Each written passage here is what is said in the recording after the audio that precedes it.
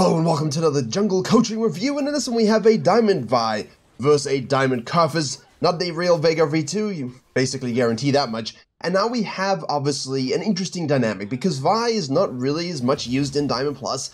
Um, I don't like the Q second whatsoever, since her nerfs, obviously. Now, the reason why I don't like the Q first is because it's got such a decent long cooldown, and your E is obviously going to do significantly more with the charges, and uh, you just kind of save a bit of time and lose a bit more from the clear, and HP of course. However, Karthus in the meantime will do blue, grub, wolves, sequence to the top side. What can we do as Vi? What's our game plan here as Vi? To be able to actually deal with this sort of situation. Now, obviously, if you take Q level 1, which we didn't cover in this particular situation for invades, you know, you're it's okay, it's serviceable, right? You're not going to be too compromised. But if you look at the timers here, look at this. The Syndra gets prior, which is great. We know that the Karthus starts on the bottom side. It's going to be pathing to the top side. So we go and get some deep vision. Hello, sir. Yes, we see you. And we put it over here. Now, most junglers by now, 232 in most MMRs, are crossing. Oh, look. Even in Diamond, they're crossing. This guy is already starting his red. Now, a good Karthus will finish around your 252, 255-ish in theory, in practice, in a game when you're looking around at things and uh, other stuff happens, you can be compromised a little bit. But what a lot of junglers used to do, and I was included in this, especially as Volibear, and I would do this as Zyra for many years, before even this year when it was buffed, I would do a three camper into an invade on the Karthus, either on the red or most likely in this particular case the Krugs, because now he's already on the Krugs, he should be finishing. Look how long it takes you to get here, but there you go. You see what I'm saying? If you want help implementing this information into your own game, I have a free jungle improvement resource and a dedicated program.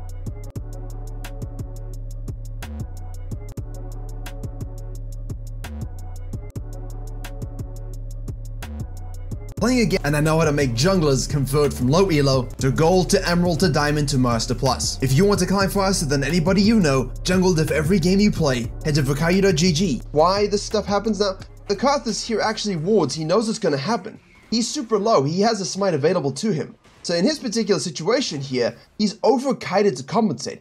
He knows that she's going to have to walk around this, he can see her walking around this. So don't sit in the open with no mana, low mana, and a smite available. He can very, very, very easily drag this to the left where his K'Sante is, get this low enough to smite it, and the reason he's so low on mana is because the guy is just holding E. You gotta toggle that shit and time it properly. Holding E is not so good. We've talked about this in the private Discord quite a lot, but here there's no reason for him to die because we see her coming. We know she's gonna be walking around the wall, trying to prime a flash Q onto us. Obviously, this particular stage, we have our flash available. So there's no reason for us to get hit, okay? He has lost this himself. Therefore, if you're full clearing jungle and you see someone do this and you foresee an invade and a death, drag the camp away so they have to spend more time collapsing.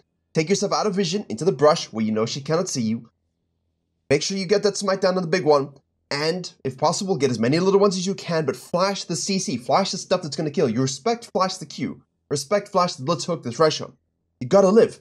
When you don't live, you compromise yourself. So, what do we like about the Vi? Good vision, good tracking, good collapse, good invade. We're able to snack this away from him. The Karthus obviously is going to go down to the bottom side. Does the Vi want to try and tower dive a K'Sante here? Yes, she does. Not quite Elise gaming, but obviously the thing we want to do. Hello, hello, hello. Q3 does hit. We'll Q into this knockback. Boom. Get an auto E. Beautiful. Very nicely done. Now, again, if you are compromised with your Q level 1 for the invades, great. I just really, really like to stress don't get caught up in those level 1 things because I just don't like being slow. I don't like being compromised. Karthus now is really in a rough spot because he's going to respawn here he's going to have to go for this. Now, we're against an Ashe, obviously, which means that Ashe can hit the Hawkshot across the map to show where he is. He doesn't seem to realize that uh, he was spotted, but, you know, just go ahead and take the Scuttle Crab. Vi can do the smart thing here, right? Couple things she can actually do. Firstly, we get the dive and fall back down to the Scuttle Crab, we do our blue side. Great. But what that does is it opens up you to either a gank from the Karthus into the Syndra. Now you look to the bottom line and you think, okay, look, I've got to wait for the respawn timer of the Vi's camps here. We do ward this because the Syndra pulls back. She obviously kind of guesses maybe he might gank me here. So he's going to go to the bottom side here. Want to out of vision, vision as much as possible. Nice and tight where the pet does show briefly. This will spawn around your 4 minute 20, 4 minute 17 here from the Vi, which is actually pretty good. I mean, I know some junglers are even slower than that. We do hit our W, but we do hit our W a little soon. Now they know we're here. We're coming from the front instead of the back. You know, Rakan should go in here when the when the Karthus is here. See, uh, awful, awful stuff. Basically, if you're the support, go the hell in when the Karthus, who's not coming from the front, he's coming from the back. Go in, hit the CC, hit all your spells, and just get executed if possible. Space so that you don't get killed. If you get killed, that's fine. If your Karthus and Xayah are able to get two kills for your death, 100% worth. They just weren't on the same page with the dive. And Vi now, what she should have and could have maybe tried to do was do this dive, take this, reset, and cut him off from here and deny these camps. But of course, now by this stage, he can fall backwards, right? He can fall backwards to his tier 2, tier 2, tier 2, and of course, tier 2. So it's the mind games here from the Vi. Do we want to guarantee our own blue side and let him get away with this? Or do we want to cut him off and then maybe apply the pressure again? Because you could take your own tier 2 Krugs, tier 2 Raptors, cut through here and apply pressure to the Karthus as he reaches the top side. And if you've got Pry in the mid lane, which we do, you can shove him out of this quadrant again. Now he's going to go back to base and have really nothing to do. And he's screwed, basically. So that's why I would have preferred to see a bit more pressure maintenance from the Vi, but overall, nice invade, good kill. Karthus shouldn't have let it happen, as we agree. Um, you know, it's a good invade, but the reason I don't like it is the following. If the enemy jungle is capable, and they can kind of understand what you're doing, you, know, you don't die here, and that's obviously the goal, so. Couple things to think about when you want to go for an invade, when you want to avoid an invade. How do you keep that pressure going? It's it's give and take, right?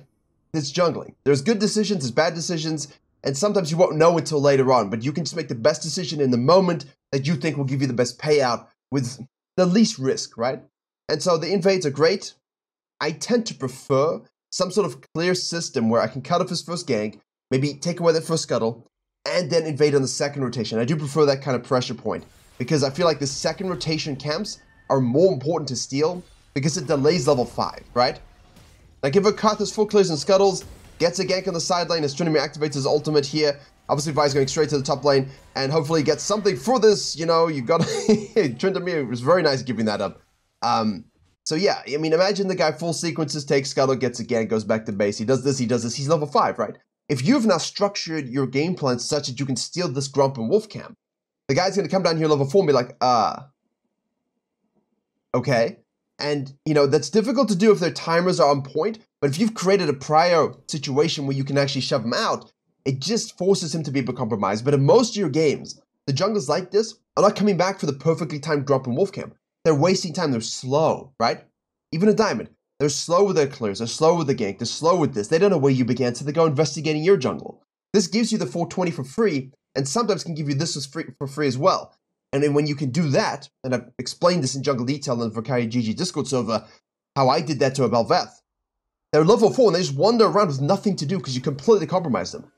That was a Master Chief Bel'Veth, you know, so if you can do it to them, you can do it to Diamonds, you can do it to Platinum. So I'm not exactly giving you, hey, what's the game plan to do that? That's that's an advanced thing that you guys have to use kind of all the principles applied, right? Like you have to figure out, you know, what does my chamber want to do?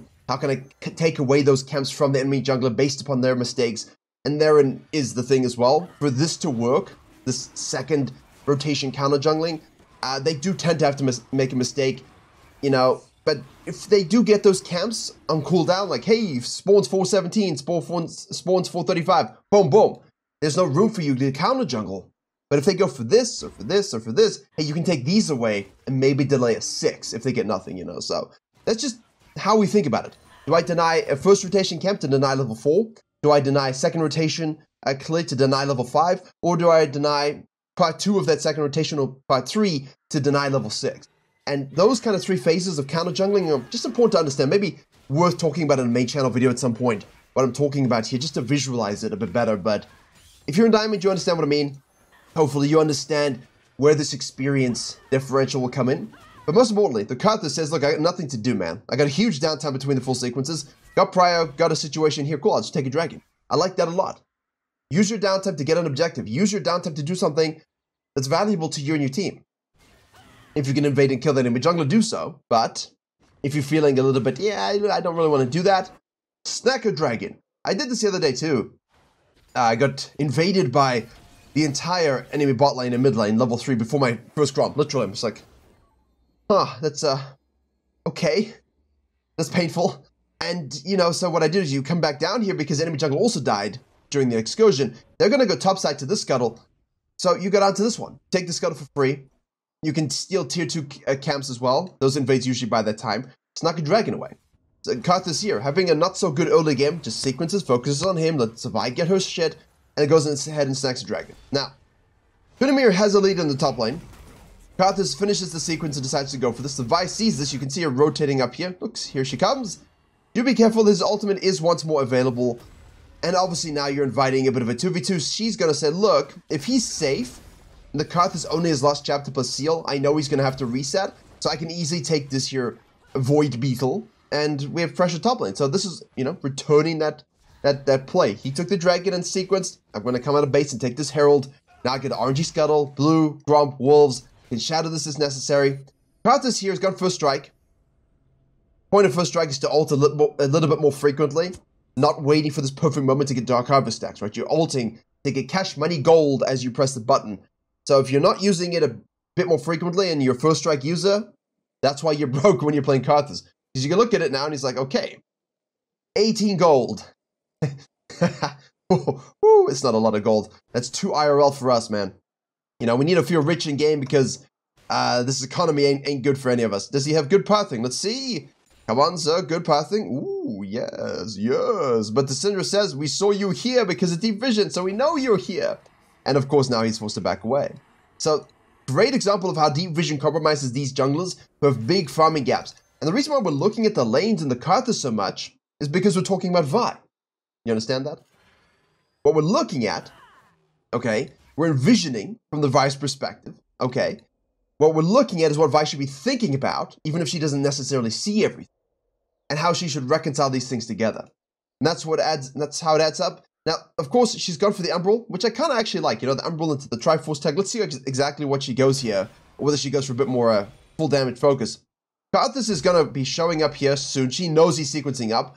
At this particular stage, I think the Karthus kind of thinks something might happen. Well done by the Vi. Well done. You know, make sure she hits everything. Ooh, some cash monies for the guy. Now we'll have a look in a second. Karthus? Oh, he's, he's not alive. Syndra goes for this. I sped it up to look for the first strike. And obviously this is the downside. Uh, K'Sante shows up.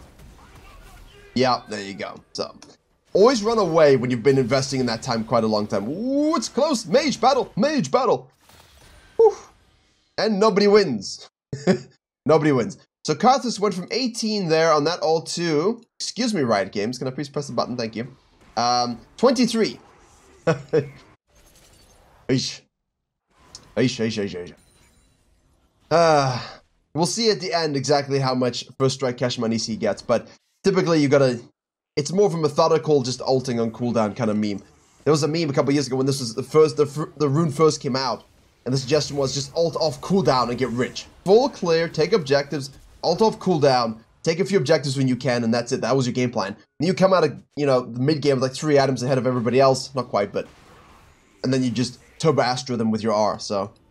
Like now you would want to press it for the Dark Harvest stack, right? On, on the Vi, you're hoping to get a Dark Harvest stack. And if you get nothing, it's like you're getting nothing, right? You're just sitting with this rune that, that doesn't give you anything.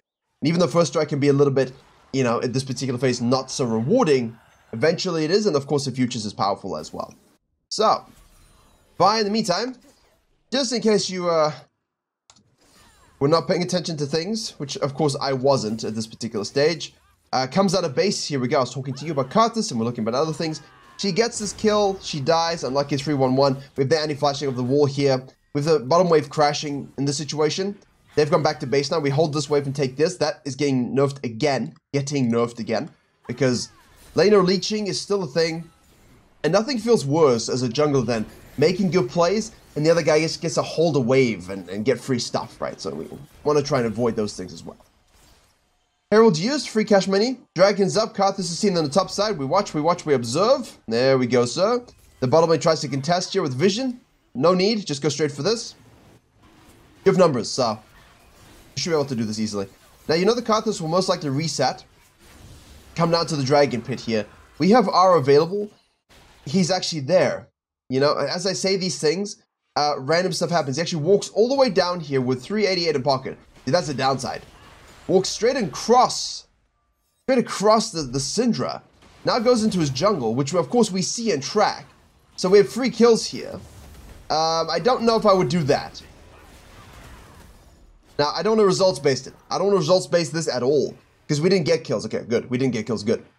Here, the fact of the matter is the guy's super duper low has to retract and go back to base. I would rather me be in his head while I'm doing stuff than me trying to match him, right? So the guy's super low, has to walk back because he sees you, knows you could R, so he's going to keep walking. Now he has to go back to base and come out. Why not use that time just to take his Gromp and his, uh, his, his blue as well? Boom, free kill. Karthus presses buttons. Might as well, right? Might as well. 5-1-1. This is a pretty good early game from the Vi, though. Like, this player has been not such a good rank for most of their career. Very high level account in terms of like actual levels. Like 860 or something like this. You know, plays the game, maybe a little coin flip. Enjoys their champions. Hecarim, Evelynn, Vi, these are seen across the board. But, uh, you know, never really left Diamond until this this first split, I, I think. I can just alt-tab and have a look here. Okay, actually reached Master Tier the first time. This split, 250 LP, and then decayed all the way back down to Platinum. Sorry, Jesus. Uh, decayed all the way back down to Diamond, 2-ish rank. And that's where we are right now. So you can see these kinds of plays are what got her there, right? But obviously, if you're not consistent with this stuff, you drop back down. And again, you used to decay down to platinum. You didn't play in Master Plus, Challenger, GM. You didn't play, you didn't play, you didn't play, you decayed all the way back down to Platinum 1.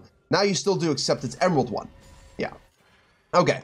Let's see what happens with this game, because it looks pretty stable, but, you know, in these particular games, Karthus is a strong, Xayah is a strong, Lissandra can do a lot, K'Sante is a champion, uh, Tryndamere is two levels up, but again, we've seen Tryndamere's split push and throw quite a lot, so we're gonna go ahead and take this Herald, and uh, let's see what we do with it. 5-1-1 lead. Karthus roaming to the mid lane here. Ult coming through, flashing to try and get the final Squelch Ball onto Lissandra, who just needs to keep her distance, give it to the Karthus. Very, very good. Vi shows up here with the Annie support, pushing the K'Sante out again. Tryndamere is going to snack this. You know, I don't have an issue with this, but you're also wasting a lot of time. Because your team has this turret, you're not going to punch a tier 2 yet with this. They just gank this. You could always just affect yourself full back. Hold this, back to base if you need to. We did go full lethality, which against that comp, yeah, not always a fan of, but let's see how we go. Gromp, Wolves, mid lane push, K'Sante is going back to base.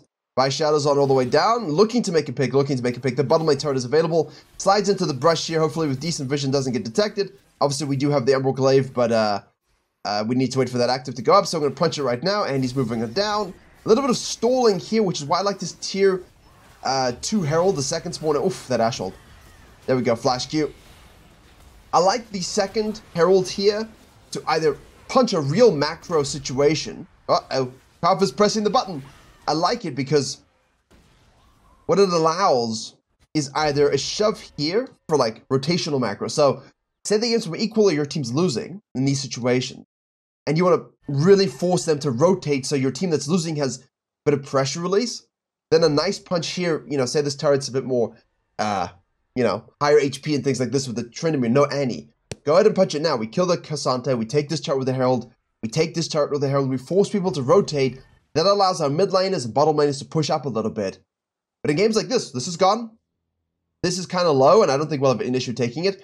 But I want my ADC to start to roam with us and use her kit uh, and there's only one person down here, let's activate the Herald now. So that was a good usage of that second Herald.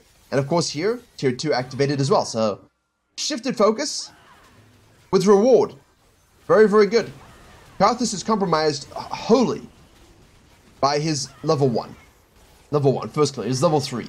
Uh, he needed to not die to the Vi to give it the snowball. He needed to be a bit more uh, intelligent with some of his ganks and ultimates and he's just kind of vibing, and he's down on CS, you know? With the Karthus there in those situations, what you want to make sure you're doing, if you're Karthus, is uh, try and use the Vi's activity against her, right? Make sure you're taking some camps away from her, which of course we weren't doing. Uh, do we get the Xayah? Yes, we do. Thank you, Ashe. But of course, the Vi goes way too ham with that build and dies. Tryndamere has no ult now. Spin to win. And he shows up. Three people by themselves. Karthus now. Here you go. See? Take some camps. Take your blue. Push the bot lane. There you go. Watch this. Watch this. Watch this. Watch this. That's fine. Keep pushing. Wait for the Vi's respawn. Cool. You got about 20 seconds before she shows, so we can pull back on this one. There you go. Hit the plan if you need to see something, which I kind of like to do. I see you. And if you can collapse in here, do so, but can we? Unlikely. Now we base. We need to, we do need to do something about the top side. I think. Uh, yesterday's jungle detail, part of one of the packages, was about um, a game where we had a challenger level game. Team blue team 10k ahead, sieging in all the inhibs and everything. Red team 10k behind. And I took it from I looked at it from both perspectives. How red team would have to play to come back, and how blue team would have to play to throw. And of course, in this example, blue team throw and red team come back. But it's very easy to see why teams in these kinds of games with these kinds of leads throw. And a lot of it is this stuff, like why are we down here? But at the same time, we're full clearing, right? Could we not have cut in to shadow our team for some pressure, right? That's always what you think about here. Ah, this is way too far along. Speed up, speed up, speed up, speed up, please. Catch this, we take this, we take this, right? Look at the map. Okay, look at the map, look at the map. Right. Everyone is on the map looking to do stuff. So now you go farming instead of shadowing here for potential aggressive plays into this zone. Yeah, Tryndamere's in base, but he can probably go catch bottom wave as well. So if we can shadow this, alright, then we're in a good situation. Also, because we have an RNG scuttle coming up here, we've got this blue side we can fall back to. We don't need to do it now in, into this. We can shadow this, move into this if their are camps available, and then fall back to that if nothing happens. But if something does happen, we can affect it. So it's not always your fault, and they shouldn't be here, but you're not seeing any pings on the minimap. You're not seeing communication. TPs are committed. Um, we're not there to help. And I'm not necessarily saying, hey, you should be there to help. I'm saying you should think about it. And most people just full sequence without thinking about it because there's no pings. Like you should be pinging them, no, no, no, no. Push this up. I will shadow you if something happens. No reason to go down. They should all be pushing this. Now, when you see this and you see this commit, you and Trinity on the Baron right now. Right now, you two on the Baron. Go, go, go, go, go, go. Snack it up. Seriously. Seriously, go to Baron right now. You're doing it, you're doing it, you're doing it. I think you can probably get it. I think you honestly can probably get it. Uh, although I will plead a little bit ignorant about the three lethality item five. I'm pretty sure you can still do it, but um, regular vibe builds will make this journey a little easier, right? Um, now they think you might be on it until, of course, everyone shows, when, by which case it's already dead. We push up this way, full back, safely, full back. Trinity is flanking by himself. Ashe arrow is coming through. Can we do something for we 2 No, we cannot. Waste of an Ashe arrow. Everyone is respawning. Hopefully. Push this up a little bit. Syndra has TP back in. Not TP back in, excuse me, but uh, she's uh, flanked from the side. No, she did TP back in. Why, did, why does it look like Ignite there? Blah, blah. I'm still residually sick. TP's in, where there's vision, tries to go in here, gets shoved out completely. Zero impact TP, basically. And he does the button pressing. Vi goes all the way in to kill the Lissandra now. But with this build, while that's great, you die. And a one for one isn't that great. Now Karthus press ult will most likely kill a Syndra there, which of course he does. And now we're losing the HP battle. Boy.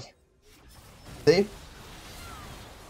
And I don't want to, like, Tryndamere things. Tryndamere, Annie, Ashe things, cool, whatever. Um, you get bailed out by your team, but I don't like builds where you go in, guarantee a kill, and kill yourself afterward.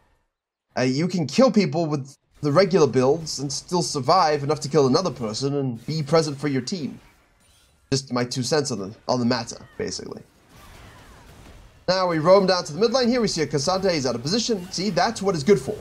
This is what it's good for. The skirmishing. Hey, someone is out of position, free kill. Hey, someone else rotated one at a time, free kill. Hey, they overchased, free kill, right? This is where it's good. But if the enemy team bundles up, you're not going to have these opportunities, which you saw the mid lane tier 2 dive a second over here. Now she goes back to Krugs for uh, healings.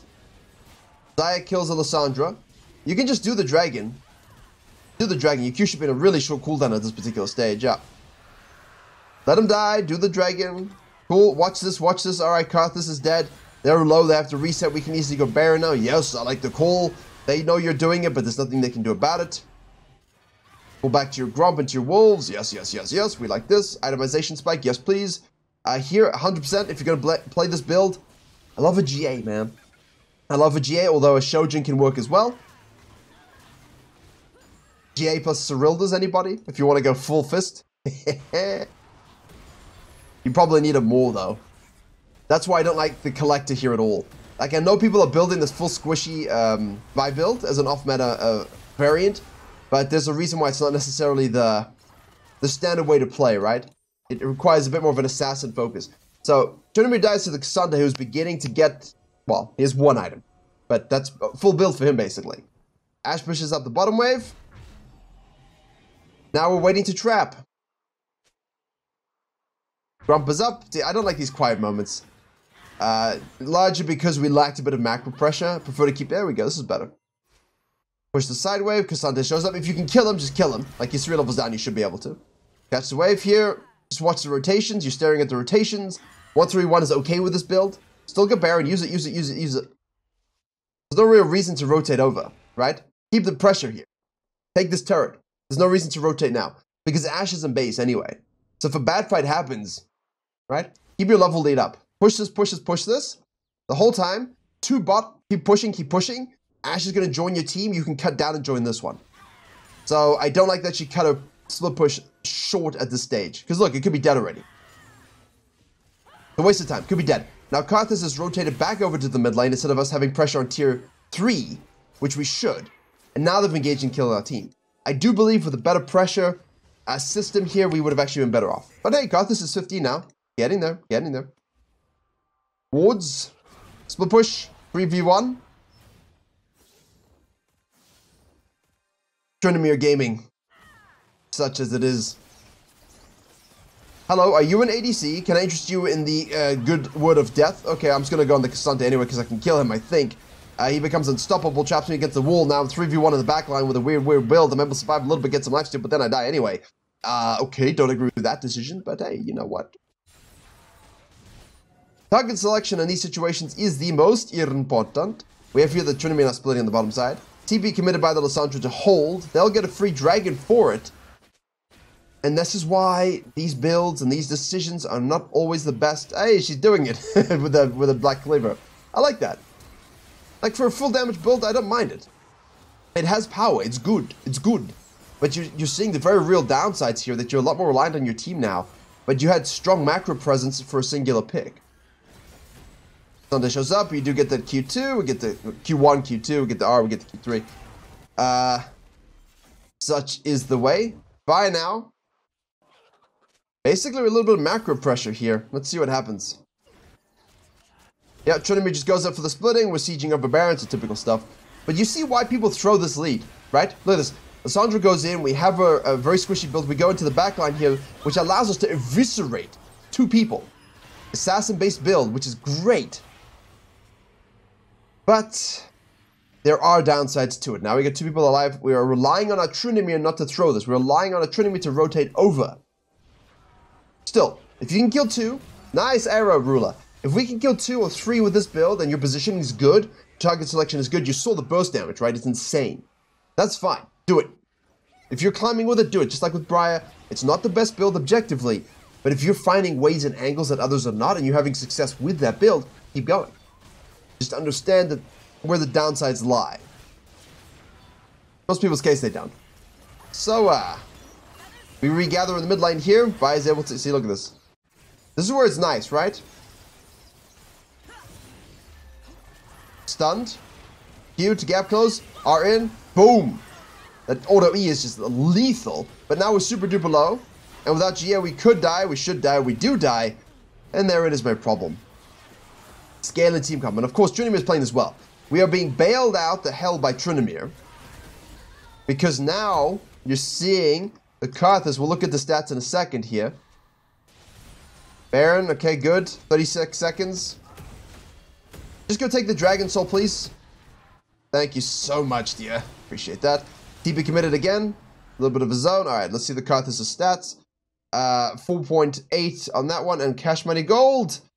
Gold gain 700. Well, not 1500, but uh, he'll get there eventually. Still, gold is to give you better items sooner to give you better one-shots sooner to help you scaling in more blind fashion. Um, but none of that matters if if if if By respawns, Lord Dominik's regards completed, which is interesting because obviously you want to use the Giant Slayer passive where they have greater health than you. Uh, we currently have 2,700 health. Uh, Lissandra has uh, 2,200. Uh, she has 2,500. He has 3,600. Obviously, it works on him. And we'll see the Karthus when he respawns in a bit. The Rakan as well, but you're not getting the same value. I think you're not getting the value you think you're getting. 2874, that's close. That's why I said Serylda's, but yeah, it will work against K'Sante, which is great, and it might actually work against the Karthus. We'll check his HP afterwards. Go full backline here while the Karthus is dead. Make sure we get those kills. Ryze trying her best to survive here. Obviously dies as well. Now they got three available. Ashe and Annie by themselves. Three people died. We lost a 4v5 because we have no real true frontline. And here we go again. Karthus. Can I click you, sir?